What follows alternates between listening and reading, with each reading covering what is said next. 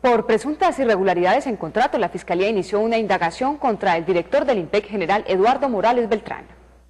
La Unidad de Delitos contra la Administración Pública de la Fiscalía inició investigación preliminar contra el director del IMPEC y la secretaria general de esa institución por posible celebración indebida de contratos. En esta delegada se adelanta la indagación seguida contra Eduardo Morales Beltrán, director general del IMPEC, y Nuria Astrid Bloise Carrascal, secretaria general del IMPEC, por el presunto delito de contratos sin cumplimiento de requisitos legales. El general Morales fue denunciado por este antiguo contratista de servicios de telefonía para las cárceles. Por una celebración indebida de contratos un peculado a favor de terceros en detrimento del tesoro público y concierto para delinquir.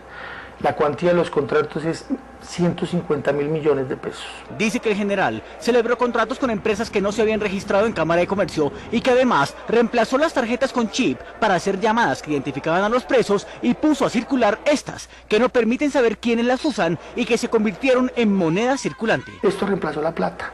Entonces con esto se puede comprar todo lo que se quiera dentro de una cárcel. El pasado 17 de julio, el ministro de Justicia Fabio Valencia Cosio recibió la carta de renuncia del general Morales, pero hasta el momento no ha tomado ninguna decisión.